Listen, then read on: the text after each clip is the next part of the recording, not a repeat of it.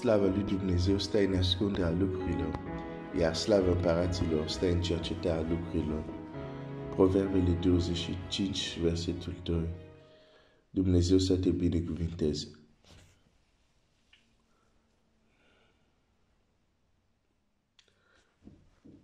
Biblia spune, vei duce război, vei face război cu înțelepciune.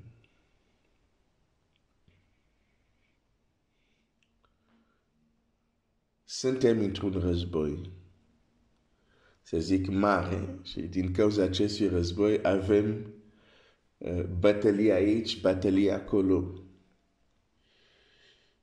Dar Biblia ne spune când duci război, când duci bătălii, trebuie să le faci cu înțelepciune.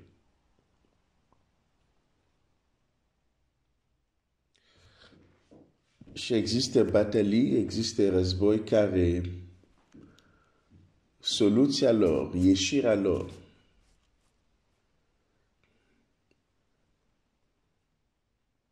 este intrarea ta într-un nou sezon. Am vorbit despre asta ieri, aș vrea să îți arăt un alt exemplu în Scriptură.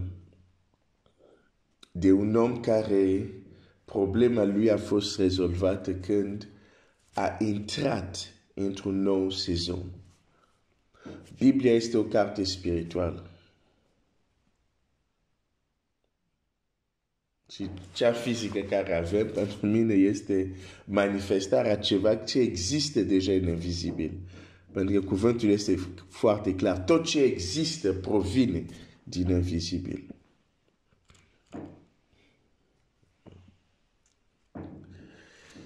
Când Adam a văzut leu în grădină, acel leu din grădină Edenei sau lei care era acolo, nu erau primii lei care există.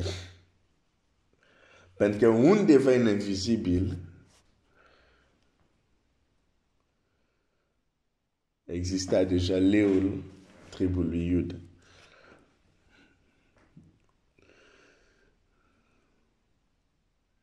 Dacă Adam vedea un miel în grădină, nu era primul miel, pentru că Biblia spune mielul lui Dumnezeu a fost jertfit înainte de întemeierea lui.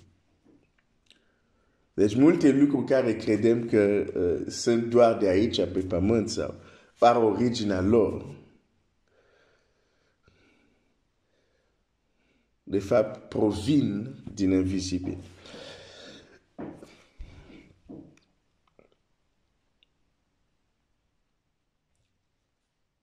Asta este lucru care schimbă cu adevărat viața noastră. Mereu vom ajunge la, punct, la un punct unde singura noastră nevoie, cea mai importantă va fi asta, schimbare de anotimp, schimbare să poți să intri într-un alt sezon. Hai să vedem personajul nostru uh, de azi dimineață. Un om deosebit, un om uh, special. Este vorba de Iacov. În Geneza 32, Biblia zice,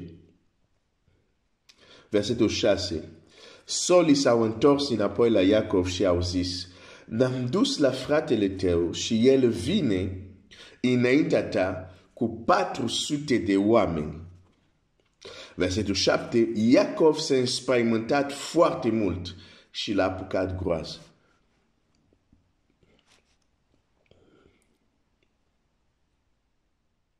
Și el vine înaintea ta cu 400 de oameni. De ce să vină cu atâția oameni? 400 de oameni este o armată. Gedeon s-a dus să lupte cu 300. Avram în uh, Geneza, Geneza 14 uh, cu versetul 14, citim cum a auzit Avram că fratele său fusese luat prins de război, a înarmat 308 spre 10 din cei mai viteți slujitori al lui, născut în casa lui și a urmărit pe împărați pe aceea până la Dan. Și împărțit oamenii în mai multe cete, s-a aruncat asupra lor noaptea, i-a batut și a urmărit până la Oba, care este lângă Damascului. Avram a făcut război cu înțelepciune. Dar a adunat 318, i-a înarmat, s-au dus noaptea, i-a împărțit în cete, se numește strategie. Și a câștigat. A învins regi cu armate de 318. Acum, Esau vine cu 400 de oameni.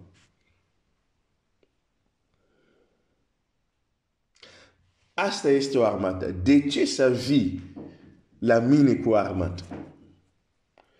Când cineva vine la tine cu armata, nu are nevoie să vorbească. Faptul că vine la tine cu armata este deja un mesaj.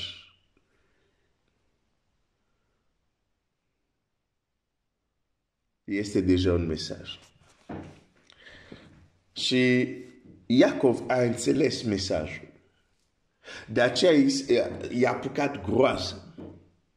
Că iată acum ce, ce făcuseră în trecut. Cum a furat, că putem zice așa, uh, binecuvântarea fratelui său sau cum a luat, dacă prefer, și fratele său promisese ceva. Promisese o răzbunare. Și el a, fost, a, a fugit, s-a dus la Laban, acum se întoarce și fratele său vine la el cu 400 de oameni. S-a tulburat, s-a înspaimentat foarte mult. Și atunci a început să facă lucrurile omenești. A împărțit uh, în două tabere oameni care avea la el, oile, uh, boi și camile, și a zis dacă Esau vine potriva unei tabere să o bată, tabera care rămâne va putea scapa. A încercat să facă aranjamente umane. Sunt momente unde aranjamentele umane uh, nu vor fi soluția. Chiar se va ruga. La versetul 9 el se, se, se roagă. La versetul 11 zice, izbăvește-mă, te rog, din mâna fratelui meu. Din ce mână vrei să fii izbăvit? Din ce mână vrei să fii izbăvit? Din ce opresiune vrei să fii izbăvit? Din ce situație vrei să fii izbăvit? Dumnezeu te poate izbăvi. Și Iacov se roagă, izbăvește-mă, te rog, din mâna fratelui meu, din mâna lui Esau.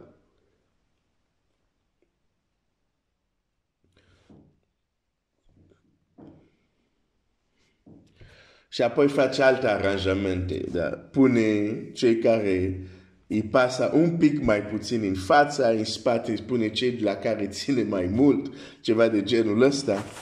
În, în sfârșit, dar unde vreau să ajung este la versetul 24.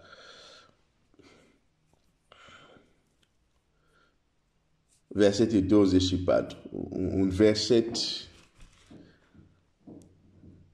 o întâmplare plină de învățătură pentru noi. Versetul 24. Iacov însă a rămas singur. Iacov însă a rămas singur. Atunci un om s-a luptat cu el. A început o luptă. El a cerut izbăvire. Doamne, izbăvește-mă. Și iată care o luptă. Dar o luptă nu cu, cu ceva sau cineva din această lume. Are o luptă cu invizibilul. Și este în această luptă. Omul care s-a rugat izbavește-mă. Uneori poți să te rogi. Dar până nu ai o anumită luptă nu există izbăvire. S-a luptat cu el. Biblia zice, până la reversatul zorilor. Ce am citit în, în Isaia 58, atunci lumina ta va răsari ca zorile. Până în reversatul zorilor s-a luptat. Cu alte cuvinte, o bună parte din noapte el se luptă. Văzând că nu-l poate birui, omul acesta l-a lovit la încheietura coapsei ca să, și a scrintit încheietura coapsei lui Iacov pe când se lupta cu el. Omul acela a zis, lasă-mă să plec, că se revarsă zorile. Dar Iacov a răspuns, nu te voi lăsa să pleci până nu mă vei binecuvânta. Asta este luptă. Asta este luptă. Între acest om și Iacov, din punct de vedere fizic, e clar cine era mai puternic. E clar. În Scriptura un înger distruge chiar și o armată. Din punct de vedere fizic, e clar cine era mai puternic. Chiar când a vrut să plece îngerul, omul, l-a lovit. L-a lovit încât mersul lui va fi schimbat. Și totuși, deși este lovit, deși îl doare, Iacov nu renunță. Și Iacov zice, nu o să te las să pleci până nu mă vei binecuvânta. Și asta este lupta. Nu să fim mai puternic decât entități care le întâlnim. Nu. Lupta noastră este să nu renunțăm niciodată. Lupta noastră este să fim perseverenți.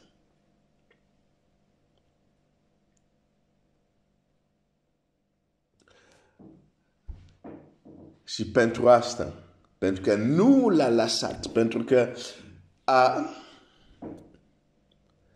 a fost așa perseverent.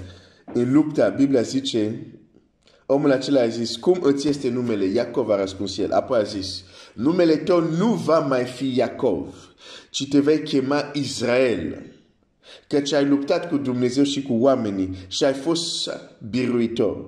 Iacov l-a întrebat, spune-mi, te rog, numele tău. El a răspuns, pentru ce îmi cer numele? Și l-a binecuvântat acolo. Iacov a spus locul acela numele Peniel. Căci, a zis el, am văzut pe Dumnezeu față în față și totuși am scăpat cu viață. Rasara soarele când a trecut pe lângă Peniel. Însă Iacov șchiopătea din coapsă. Răsăra soarele. Dar iată acum, în acea dimineață, nu era doar o nouă dimineață, era și o nouă dimineață din punct de vedere spiritual pentru Iacov. Pentru că din acel moment intrase într-un alt sezon.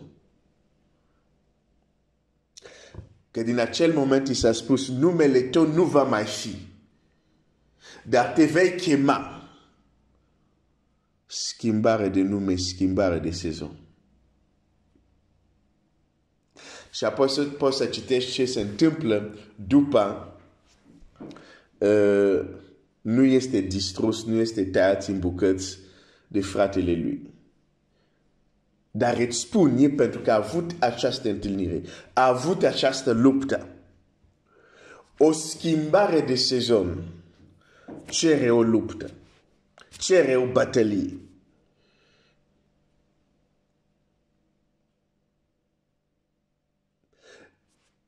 Vor fi, va fi o bătălie, va fi o împrejurare care ne spune renunță renunță. Și noi va trebui să fim ca și Iacov să zicem, nu, nu, nu, nu vom renunța. Nu vom, nu vom renunța la ce știm că este, la ce știm că trebuie să facem. Și batalii vin la, la, la mai multe nivele, la mai multe situații la mai multe împrejurări. Dar dacă vrem să intrăm într-un nou sezon din viața noastră, cere din partea noastră o, o determinare, o hotărâre, o, o atitudine unde nu renunțăm să facem ce știm că trebuie să facem. Nu renunțăm la rugăciune, nu renunțăm la cerceta cuvântul, nu renunțăm să așteptăm manifestarea puterii lui Dumnezeu, nu renunțăm. Indiferent de obstacole și de opoziție care apar.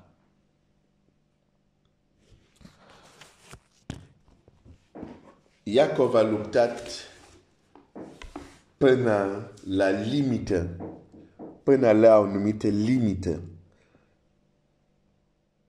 a luptat până să vină zorile și lumina lui a răsărit ca zorile a intrat într-un alt sezon. A intrat într-un alt sezon. Și acum nu este Iacov, dar este Israel, care se întâlnește cu Esau.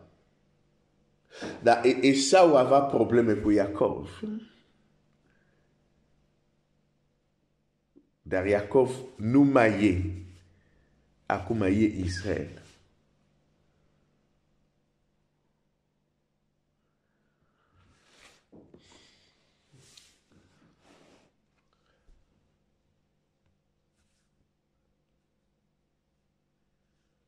Avem nevoie la un moment dat, fiecare dintre noi, ca lumina noastră să răsară ca zorile, să încep, să înceapă un nou sezon. Și automat anumite lucruri, automat anumite lucruri dispar și alte lucruri noi vin. Prin simplu fapt că am trecut, am intrat într-un alt sezon. Dumnezeu să te binecuvinteze.